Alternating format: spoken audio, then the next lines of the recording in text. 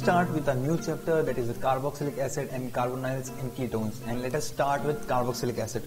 So first of all we will see the reactivity order of some carboxylic acid derivatives and carboxylic acid.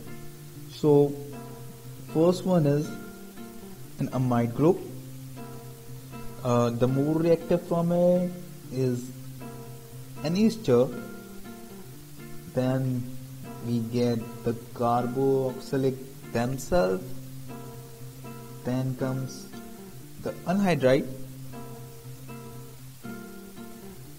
And finally we have acid halides this is the order of reactivity.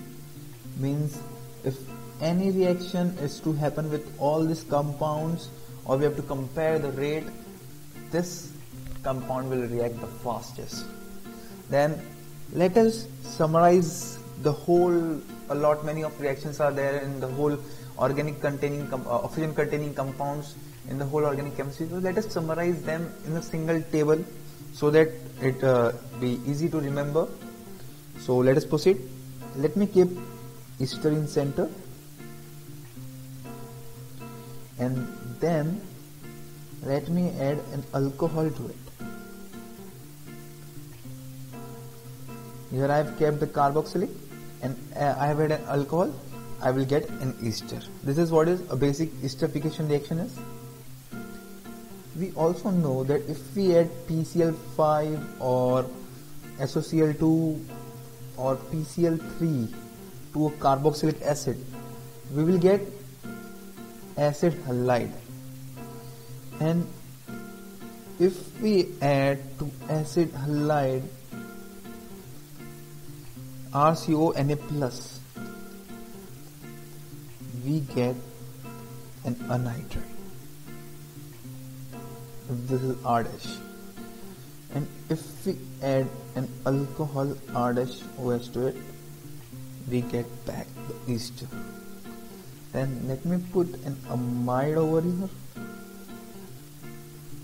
And if we add NH3 to this we get this amide over here uh, even if we get NH3 to RCOCl we will also get amide or just by heating the carboxylic acid we will get amide or just by adding NH3 to anhydride we will get the amide back. And we can also proceed that from RCOOH to anhydride if we want to go. The processes either use P2O5 with a heat or concentrated H2SO4.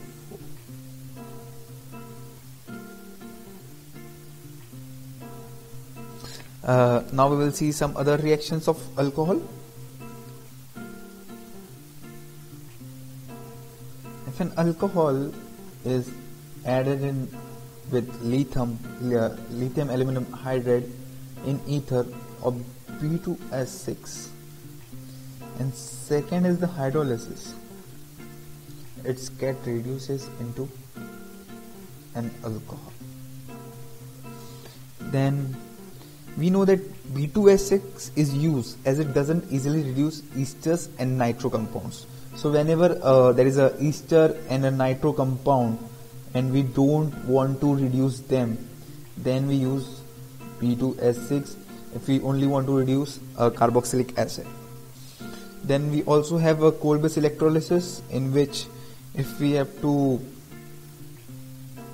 carboxylic acids like this and if we provide electricity denoted by plus minus we will get an alkene plus CO2 which will be at anode and hydrogen gas at cathode.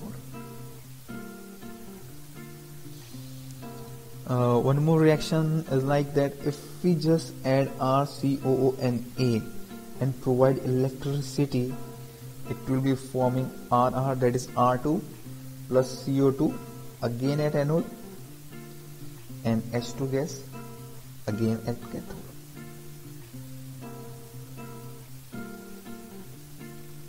Now a similar uh, reaction like Friedel-Crafts reaction we are going to do it's we are going to add FeBr3 to benzoic acid with Br2 and we will get Br at meta position. As we know that COOH is a deactivating and meta directing group therefore we will get Br at meta position and this benzoic acid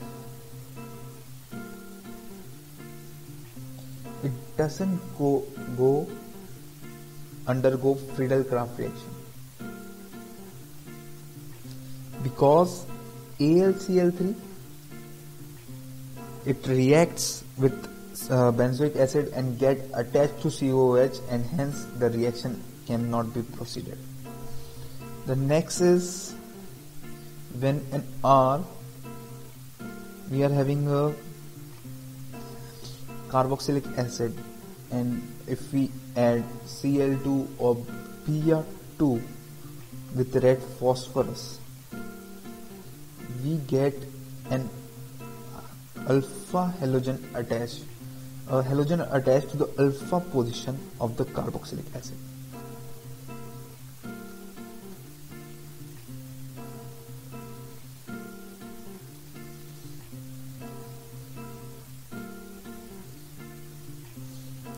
Now finally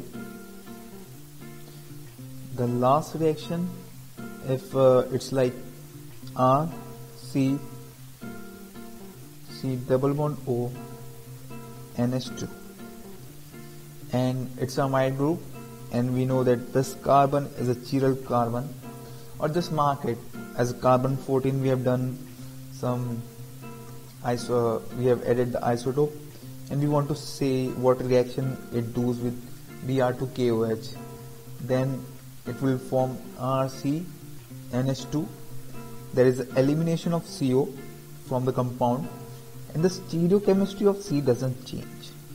This is basically a reaction which will come in amide but this will be used in problems that why I'm just putting it over here. Let us start with carbonyl compounds. First reaction which we will see is how calcium salts of carboxylic acids reacts to form an aldehyde. This is like this. Calcium salts of carboxylic acids they react with each other to uh, at giving uh, by giving some temperature or heat or some energy uh, they form corresponding aldehydes plus calcium carbon. The second reaction, they can even form ketones. If in place of CH3 we have R group which is bigger than CH3 it may be ethyl, propyl, hexane whatever and if we use some R dash with it then it will form 2 R CO R dash plus 2 times calcium carbonate. Apart from that, it will also form mixtures of RCOR and R dash COR dash. So let's proceed to the next reaction. The next one is a Rosenmund reduction reaction in which an acid halide is reacted with H2 uh, in presence of palladium, uh, xylene and barium sulfate uh, with sulfur quinoline and this acts as a poison to catalyst which means that after proceeding to one step that is as soon as H2 with palladium reduce reduces to RC double bond OH that is aldehyde plus HX it stops the reaction over there. So that's what the poison to catalyst means. And it lets the reaction to proceed only one step. And this is Rosenmund reaction. Now let's move further. If in place of H2 palladium we can also use LBAH or we can also use N-butyl tinhydride. Let's see the next reaction which we call as Stephen's method in which we have taken a cyanide and we are reducing it with tin chloride in HCl and it gives me uh, RCH NH HCl which on hydrolysis gives me aldehyde plus NH4Cl and the uh, one more important point is that we can't react hydrogen cyanide with RMGX because if we do that then uh, it's an acid and it's a very strong base that is R minus. So it will follow a simple mechanism of acid base reaction and alkene plus MgX cyanide will be formed.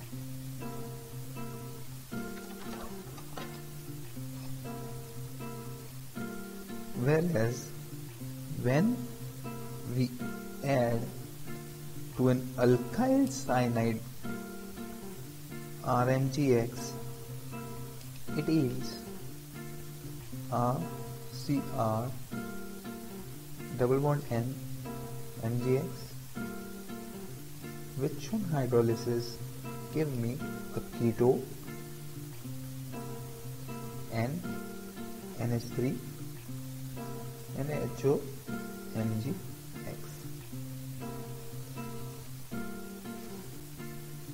In the next reaction, uh, the PSCS3 where we add CrO3 with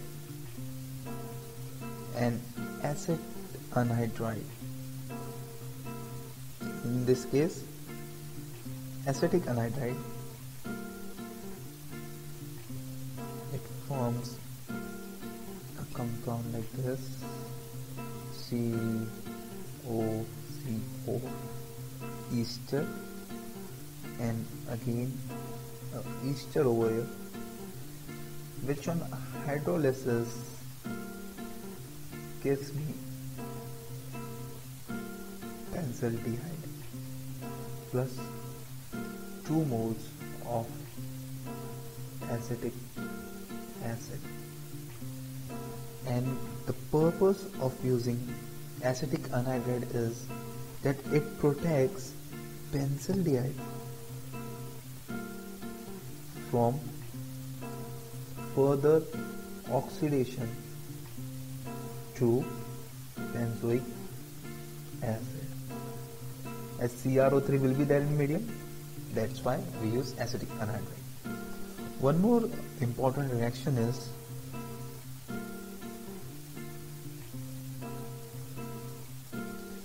whenever we get an N-alkyl benzene and if we use CrO2Cl2 where then followed by hydrolysis we will get an aldehyde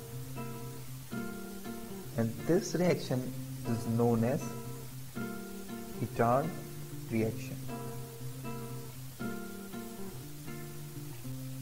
And an important point to note is that aldehyde and ketones have low melting and boiling point than alcohols because they don't have hydrogen bonding.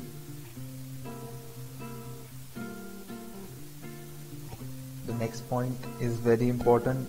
It's order of reactivity for nucleophilic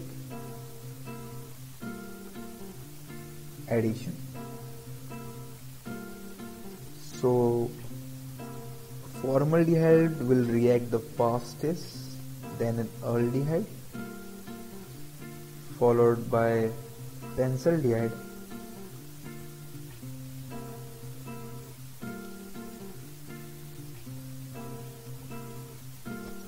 then a keto will come. Then phenyl alkyl keto then phosphyl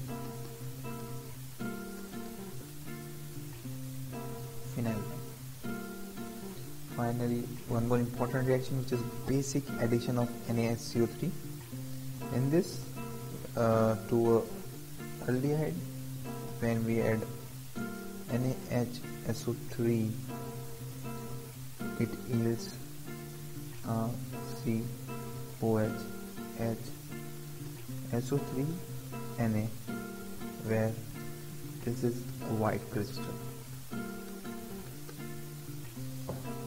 And when we react it with the keto it forms RCOH R SO3 Na it forms this product only when R one of the R if this is an R dash one of the R or R dash is CH3 because compounds having CH3 CO group only will undergo this reaction. If it's not the case, then uh, if it's a case like this, it will not react and no white crystals will be formed. Now the next reaction is a very important reaction in which uh, we will be studying the concepts of acetal and hemiacetal and what's the purpose of using them. If we add an alcohol to an aldehyde group in dry HCl, we will get a compound like this. This compound is hemiacetal and again on addition of CH3OH or alcohol again we get an acetal.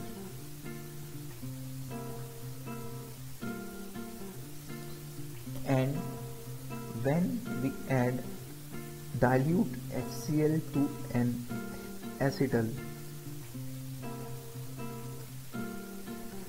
it get again it forms back are aldehyde. So acetals are basically used to protect the aldehyde group so that they do, don't undergo any reaction.